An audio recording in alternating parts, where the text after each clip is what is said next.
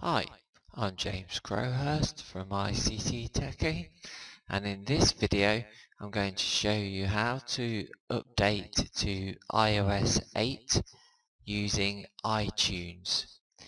The main reason for using iTunes is that the iOS update is very big.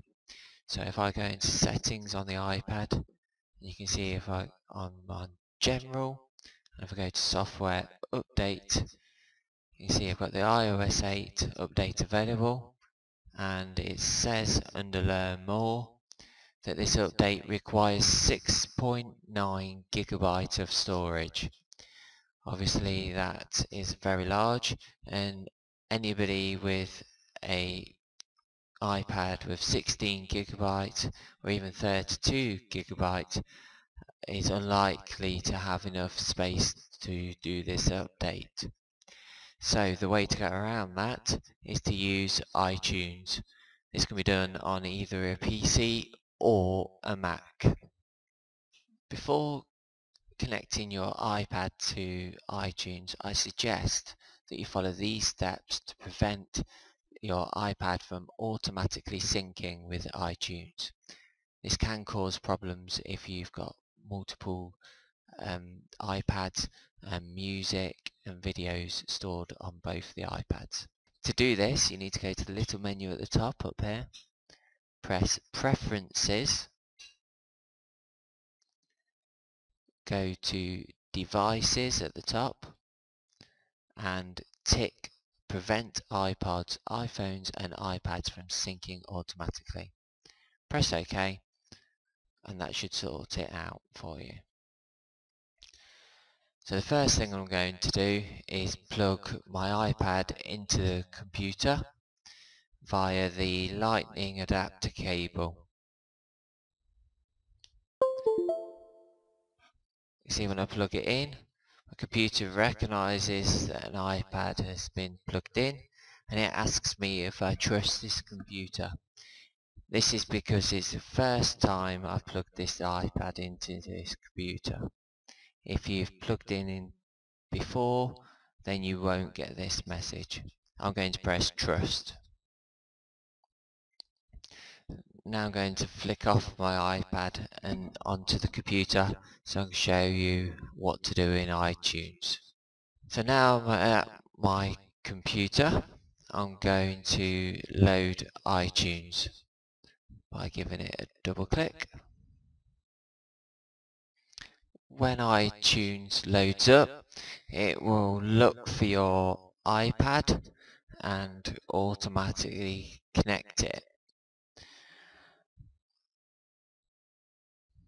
So here we go. It said welcome to my new iPad. This is because it's the first time I've plugged this iPad into this computer. Um, because I've plugged a different iPad in previously, I have got the restore option. Alternatively, I could set up as a new iPad, um, which is what I'm going to do now. And then press continue.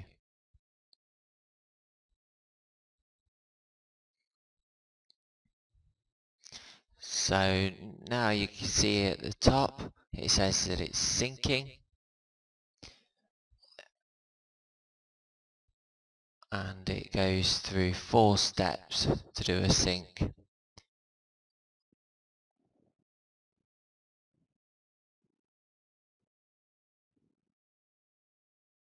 Okay, so now it's finished syncing. I need to press get started before I can do anything. And now it displays the summary of the iPad. So it tells me which version I'm currently running and it tells me there's an update available. Uh, but before I do the update, I'm going to do a full backup. So down here in the backups, I'm going to come over here and do a manual backup and restore. So I'm going to press backup now.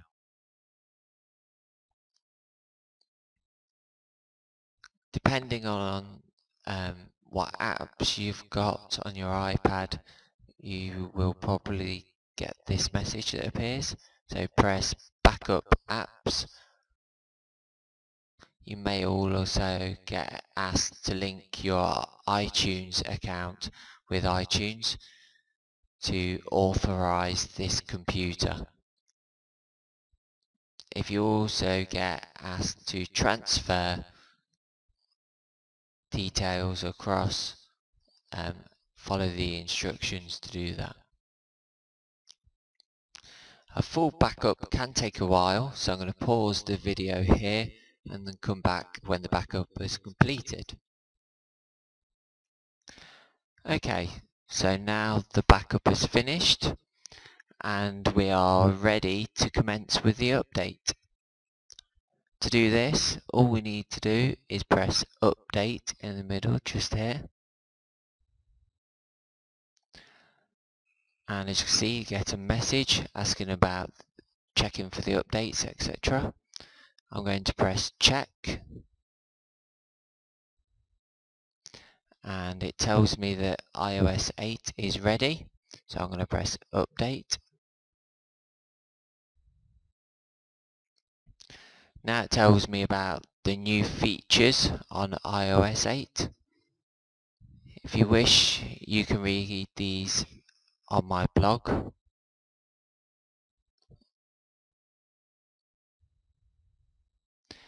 Now you press next.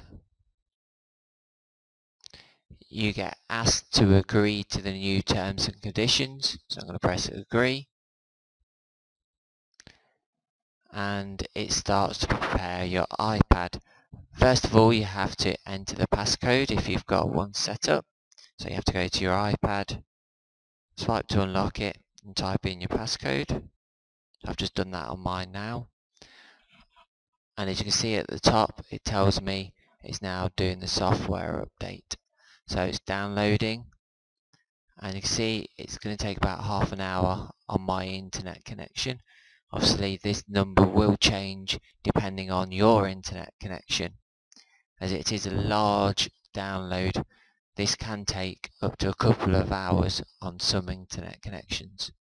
So I'm going to pause the video here and come back to it after the update is downloaded. After the software has been downloaded, it will automatically extract the software for you and start installing the update onto your iPad.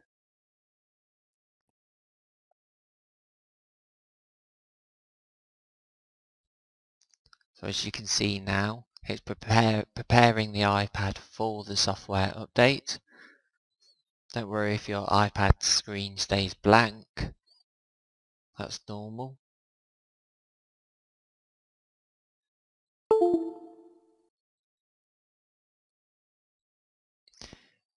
At this point your iPad will get the white apple on it and then it will go through the process of starting the update.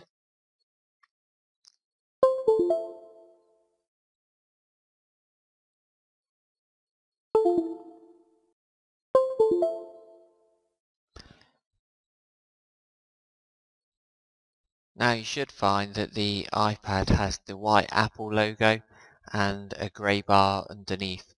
This grey bar will gradually move across the screen as the update is installed and verified.